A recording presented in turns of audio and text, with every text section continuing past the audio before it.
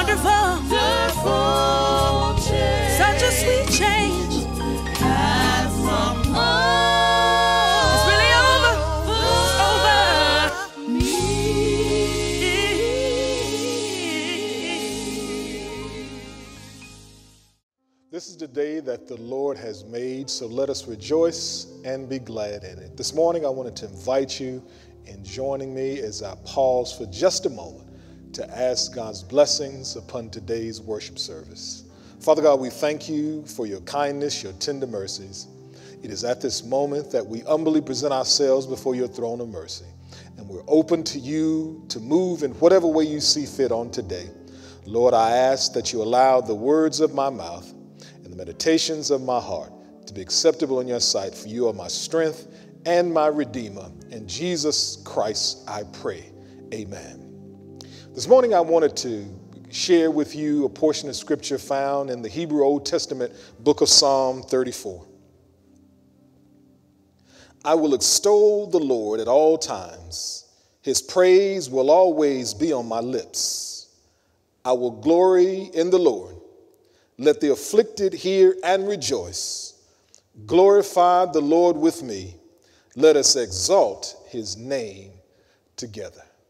This morning, I wanted to talk and to preach from the subject finding a source for inspiration. Uh, as we continue to journey through this season that has been described in many ways uh, pandemic, uh, COVID 19, coronavirus. I must admit and I must confess this morning that there are moments in which I find myself needing a new source of inspiration. In other words, needing that one thing to encourage my spirit and to encourage my heart. And I trust that if you are honest as well, there are also times in your life in which you need to find just one additional source of inspiration. And oftentimes, uh, when we seek out those moments and sources of information, it seems as if none can be found. But I have discovered along my Christian journey that there are certain reliable places I can find myself going back to time and time again to find inspiration and even instruction as well as application. And that place is in the book of Psalms. Psalms is a portion of scripture found in the Old Testament that has not only inspiration, but it offers instruction. And if you read it closely, it'll give you application as well as proclamation. And so in the book of Psalms, it has been put together um, by writers both unknown and known. Many of us are more familiar with the songs of David. And this morning, the portion of scripture that I read for your hearing is indeed attributed to David, um, the psalm writer. For those of you who may not know who David is, David was a unique individual in the Old Testament, for David was a man after God's own heart. David oftentimes for those that know who he was, uh, remember him as king of Israel and, and, and, and in the midst of his kingship, um, made a mistake.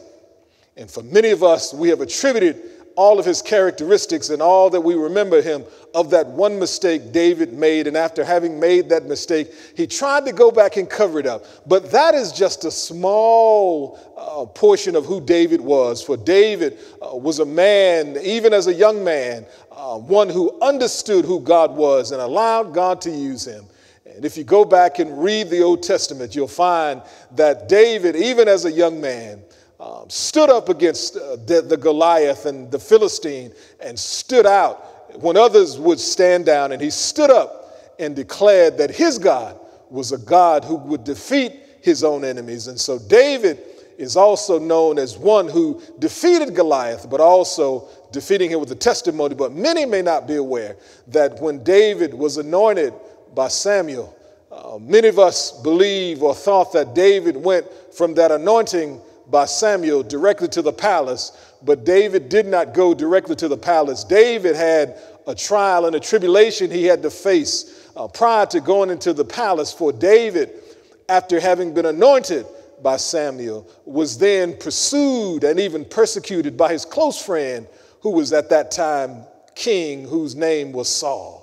And so David had a unique testimony, a unique story, as David, as I said on a few Sundays ago, had to flee for his own life. For as a result of his friend's jealousy, He was forced into hiding. He was forced to, to, to seek out and live in a strange land, in a place that he was not familiar with. But though David lost much of what he physically owned, David never lost his testimony. And so David understood that in the writing of this song, that, that in spite of what you go through and in spite of where we find ourselves, it is important to know that there is yet still inspiration, not in those places of comfort, but even in those places of trouble, in those places where we find ourselves. So David says that, that I will bless the Lord every chance I get, and in, in, my, in my mouth the praises of God will be continuously, which simply means that I will praise God in those good times and I will praise God in those bad times.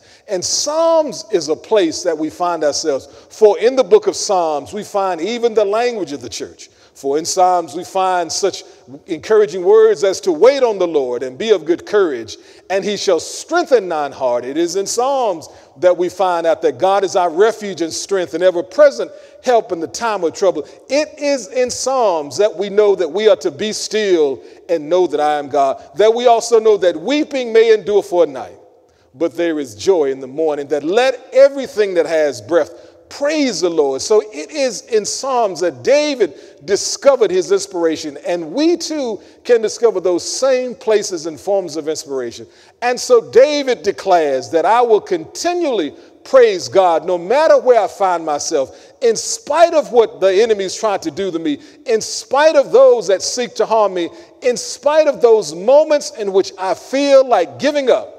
I will never give up on God, and I know that I will continuously praise. So, does that mean we are to pretend and act as if we are not going through things? I would say to us, certainly not. For it is in those moments of inspiration that we recognize the reality in which we find ourselves. For David understood his reality, he knew that he was in a place of danger, but he knew that the danger that he faced was not greater than the God that he served. And so, I say to us to be encouraged and to know that in the midst of our trials, in the midst of our trouble and tribulations, to know that we will continuously praise God, and also to know that, that no matter where we find ourselves, we will continue to say that it is well with our souls. And David said that just as he breathes each breath, he will praise God. So every time he takes a breath, he will also praise God. And so praise was a part of who David was, and it was part of his being, for he said that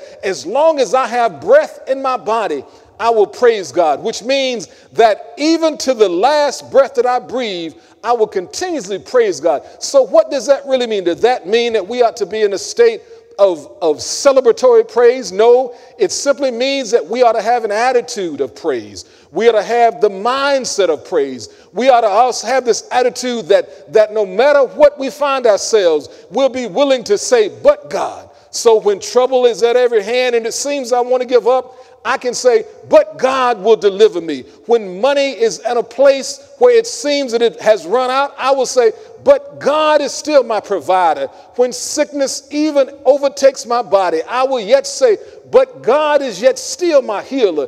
And that is how we go about finding new inspiration, even in the book of Psalms. And so it is not so much that we continuously encourage ourselves, but know that there are moments in our lives that we have to do just that.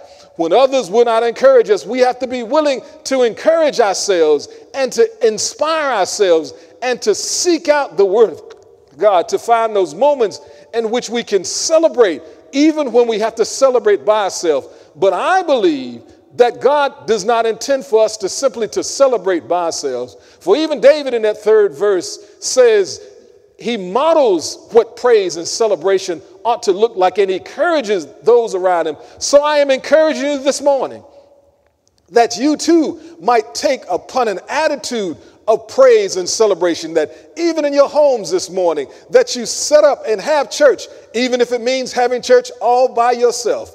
And to know that you are never really worshiping by yourself because God is a God that is ever present with us. And so find those spaces of worship, find those spaces of praise, look not to the negative things in life, but to look to encourage yourself, to know that even in our darkest moments, in those darkest hours, it is always brightest before the dawn. And so know that God is a God that does not need our praise. Watch this but he wants our praise. He does not need our gifts to him. He does not need our sacrifices, but it is to our benefit that we give a sacrificial worship. So as we worship, let us know that we are giving of ourselves to know that everything that we have, our very being, belongs to God. So whatever we have this morning, we ought to give it to God. And no worship, no praise is too small. Even if you run out of strength, if you run out of what you consider to be good health, just know that you are to give